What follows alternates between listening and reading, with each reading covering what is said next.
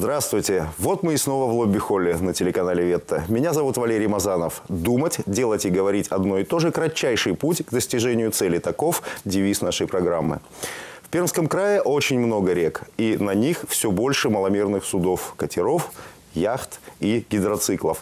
Обо всем, что связано с судовождением, мы говорим с нашим сегодняшним гостем, руководитель школы профи Александр Князев. Здравствуйте, Александр Андреевич. Здравствуйте. Школа профи обучает людей, которые хотят получить права на вождение маломерных судов. Я правильно понимаю? Да. Расскажите, пожалуйста, поподробнее о своей школе. Как давно она работает? Ну, мы работаем почти с начала образования вообще вот этой программы обучения судоводителей маломерных судов с 2009 года. Школа профи одна из первых получила лицензию на право обучения судоводителей по категории моторная лодка, катер, гидроцикл. В Пермском крае очень сложно было именно получить хорошее обучение вот по водным видам транспорта. Не секрет, что многие судоводители, имеющие водный транспорт, не имеют прав. Многие даже не знают, что необходимо иметь водные права. Но это называется, значит, не водные права, а удостоверение судоводителя – которые разрешают управлять судами именно тех категорий, на какие они обучались. Все как на машинах. Абсолютно верно. Значит, у нас есть категории моторная лодка, катер, гидроцикл. Нужно обучаться именно по данным видам категории для того, чтобы умело управлять этими судами. Как много людей прошло через вашу школу? На сегодняшний день порядка 600-700 человек примерно с 2009 года. Значит, причем хочу отметить, сдали все абсолютно, кто проходил обучение. Вот, то есть не сдавших в нашей школе нет. Потому что, когда я проходил обучение, у нас не было таких возможностей. Мне сказали, что мне помогут получить права. Ну, как помогут? Дали адрес сайта, где есть тема. И сказали, обучишься сам приходи, я тебе дам справку о том, что ты обучился. Практики в ГИМСе тоже не было предусмотрено. После теоретической сдачи просто указочкой по карте показал, как бы я сделал маневр, чтобы я в данной ситуации производил. На сегодняшний день я постарался сделать в своей школе именно такое обучение, чтобы люди выходили уже подготовленные чтобы не было таких ситуаций неразрешимых и не вводило людей в стопор, если они, допустим, столкнулись с какой-то вот ситуацией. Увидел знак и не знает, что за знак, ехать или не ехать. То есть мало того, что мы объясняем, какие находятся у нас береговые знаки, плавучие знаки, чтобы ученики знали, независимо какими они плавсредствами управляют, чтобы они могли их прочитать, знали зону действия знака, какой маневр производить. В общем, чувствовали себя достаточно уверенно. Ну, они пришли обучаться, и мы их обучили. И после теоретической подготовки проводим практические занятия на воде. А вот давайте разбираться с этим поподробнее. Э, сколько времени занимает процесс обучения? Теоретическая программа – две недели. То есть 10 тем. Э, после прохождения теоретической программы делается зачет контрольный. И если курсант, ну я называю их курсантами, сдал зачет – все, мы его отправляем на практические занятия. А где проходят практические занятия? У нас специально оборудована акватория на Приме первой. Это выше магазина «Речник». Э, стоят плавучие знаки, береговые, причал и все виды плавсредств, на которых проводится обучение. Практика реальная. Независимо от умения учеников, добиваемся от них выполнения экзаменационной программы. То есть количества часов нет. Не получилось первого раза, приходите, не получилось со второго, приходите. Вот. Особенно сложно, когда девушки приходят. Многим сейчас, как ни странно, дарят гидроциклы и яхты. Ну, машинами уже задарили. Теперь дарят водный транспорт. Она боится воды, она даже боится зайти на судно, верещит, но все равно, значит, что-то пытается. Поэтому вначале на маленькое судно садим, приучаем ее к воде, потом больше-больше, и, так сказать, добиваемся результата. То есть к девушкам, как всегда, нужен особый подход. Наверное, да. Это они и девушки. Мы живем в таком климате, что 9 месяцев в году зима. То есть получается, что э, обучать вы можете, грубо говоря, с апреля по октябрь? По ноябрь. По ноябрь. Да. Первые практические занятия у нас были с открытием навигации 20 апреля. Спустили на воду плавсредства, откатались, промокли все, замерзли. С утра нормальная погода была, после обеда поднялся ветер. Поэтому не докатали всех, пришлось прекратить. Потому что сейчас вышли регламенты именно по практическим занятиям и по экзаменам. Можно принимать и сдавать экзамены при определенных ветровых нагрузках. То есть, если свыше 10-15 э, метров, это считается уже сильный ветер. Вот. Поэтому соблюдаем при обучении все требования. А катеров сколько, на которых э, сдают экзамены, проходят практику? У нас один один. Да. Но, тем не менее, содержать катер необходимо. Необходимо, видимо, какое-то помещение с дополнительными обучающими средствами. Да. Я к чему спрашиваю? То есть, э, все равно какие-то затраты есть. Как дорого обучаться в вашей школе? Ну, ценник нашей школы вроде может показаться дороговатым. 6 тысяч – это категория моторная лодка и катер. 7 500 – это моторная лодка, катер, гидроцикл. Если посмотреть в объявление, вы можете увидеть ценник 3-4 тысячи. Может, посчитайте, что вам повезло? Нет, тут есть подводное течение. Ну-ка, поясните. Это школа, которая не имеет именно водной техники и будет привлекать для обучения другую организацию. А, то есть надо будет Сторонняя организация будет максимально выжимать денежки за каждый час. А у нас все входит в стоимость. То есть у нас своя школа, своя техника, своя акватория оборудованная. Вот. И ряд школ пользуются нашими услугами. У нас есть партнеры, но также есть конкуренты. А насколько много конкурентов? Насыщенный этот рынок обучения? Этот рынок не насыщенный. Значит, э, те, кто чувствовали себя не справившимися, так скажем, мягко, они ушли с рынка. Есть, которые, ну, каким-то образом, используя связи, ярятся на плаву и пытаются, ну, наподобие нашей школы что-то сделать. Но не всегда это получается. Поэтому вот прямой конкуренции я не ощущаю, честно. Вот. У нас есть еще запас, потенциал, э, планы те, которые будем воплощать. И стремиться, так сказать, чтобы быть всегда на высоте. Вообще, я думаю, у вас действительно есть большой потенциал, потому что летом выходишь на берег реки, видишь, как много становится катеров, гидроциклов и, и прочих плавсредств. То есть люди стремятся быть больше на воде, больше управлять. Но э, есть у меня большое подозрение, что далеко не у всех э, владельцев, особенно гидроциклов, наверное, э, у которых есть права. Вот как бороться с этой проблемой? Я не знаю, как бороться с этой проблемой. Потому что в какой-то она степени есть. она есть. Существует реально такая проблема. Я ощущаю это на себе, когда во время практических занятий с противоположного берега группа гидроциклистов принимает активное участие э, в наших э, тренировочных заездах, но мешают конкретно когда останавливаем их и спрашиваем, вы чего нарушаете? Они говорят, а что, нельзя? То есть люди далеки вообще от правил поведения на воде. Категорически запрещено приближаться к зонам массового отдыха людей, то есть к пляжам, маневрировать независимо, знаешь, грибная лодка или судно с подвесным или стационарным двигателем, гидроцикл. Запрещается приближаться к буйкам.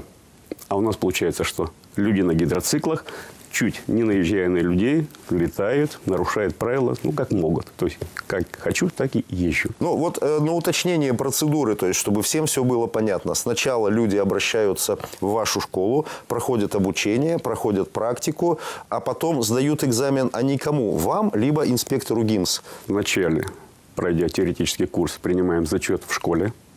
Если зачет сдан успешно, отводим на практику. Практику прошли успешно, готовлю документы, формируем группу и, как в детском садике, за ручку сопровождаем. То есть вот отличие нашей школы, если мы приняли курсанта, мы его доводим до конечной стадии, именно до получения удостоверения. Ну, экзамен, само собой, обязательно. Значит, нахожусь с ними во время практического экзамена рядышком. Курсант управляет, я сижу и за него переживаю, естественно, чтобы сдал. А вообще я слышал, что э, сегодня, там, по мере развития технологий, можно пройти обучение заочно, дистанционно, через интернет. Это правда? Да, у нас есть сайт, посредством которого проводим обучение. Как Именно это тех людей, которые не имеют возможности посещать ежедневно занятия. У нас занятия проходят ежедневно, в вечернее время с 7 до 9. Для полноты обучения еще применяется вот это дистанционное обучение, сайт. Каждому ученику даю пароль, логин, он заходит. И посредством изучения тем, ну, будем говорить, домашнее задание. Он смотрит, какое было задание, И на этом же сайте есть возможность уже практиковаться, как в ГИМСе, отвечать на заданные вопросы. Компьютер формирует пакет, выдает, и ученик решает. У меня стоит, знаешь, программа обратной связи. Я смотрю, кто заходил, на какие вопросы ответил правильно или нет. И переписываемся, либо созваниваемся. То есть я его контролирую полностью всю работу, заданную на дом. И вот посредством дистанционного обучения именно проводим обучение тех людей, у которых нет школ. Ну, допустим, из Чормаза или где-нибудь, я абстрактно сказал, да. Вот, у нас есть э, в Добрянке школа, но там ценник большой, и поэтому люди выбирают дистанционное обучение. Но это не означает, что вы мне просто записались на курсы, оплатили сумму и все. Нет, точно так же я приглашаю вас после обучения на сдачу зачета. Если сдали, хорошо. Если нет, то учимся дальше. Я правильно вас понял? Систему эту обмануть невозможно. Даже если ты где-то подсмотрел ответы на вопросы и в течение вот этого дистанционного обучения отвечал на сформированные задания, ты Я все равно идешь и да. уже лично да, сдаешь. Да. Я же не вижу, кто вместо вас кнопки нажимает с той стороны. Все, поэтому будьте любезны в школу в любое время. Если занятие с 7 до 9, э, назначают встречу, э, специально приезжаю и уделяю внимание значит, по аттестации. Вы сказали, что у вас есть большие планы по развитию. Может быть, поделитесь? Мы с компанией Active Drive Yamaha э, заключили партнерское соглашение. И сейчас в данный момент проводим программу «Дарим права». Да. Этого же делать нельзя. А мы дарим права. Каким образом? Мы не просто их дарим. Мы дарим скидку на сумму обучения. Если вы приобретаете водную технику в Active Drive, вам автоматически выдают сертификат на бесплатное обучение в школе профи.